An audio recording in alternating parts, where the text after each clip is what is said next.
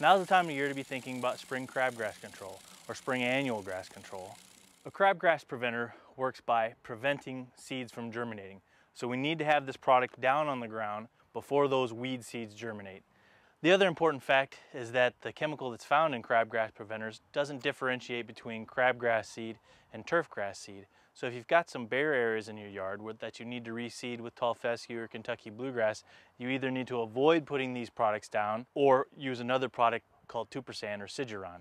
You want to look for environmental cues. If you see the yellow flower of the forsythia bush, you still got a couple weeks. Once you see the flower, be thinking about it, getting to the store to purchase your product. I've got four bags of three different products essentially here.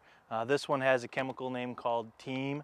This one has a, a, crabgrass preventer called Dimension, and the last two have a crabgrass preventer called Barricade. There's also another popular one called pendimethalin, and they all work very good at controlling crabgrass. Each of these products can be applied to lots of different grasses, but the rate will be different depending on what type of grass you have in your yard. These two bags both have Barricade in them, and they both have 19% nitrogen, so they look very similar. They look like they should be the same bag of fertilizer and crabgrass preventer. However, when we look closely at the label, this one has 0.2% prodiamine and this one has 0.38% prodiamine. So this one has a lot more barricade in it. So this bag will actually cover 12,500 square feet where this bag will only cover 6,600 square feet.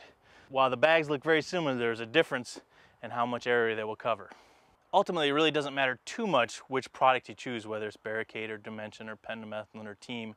They all have some pros and some cons with each product. The key important part is to read the label, find out how you're supposed to use that product, and buy and use the correct amount that's for your size of yard. For more information, visit your local extension office or visit our website at kansasgreenyards.org.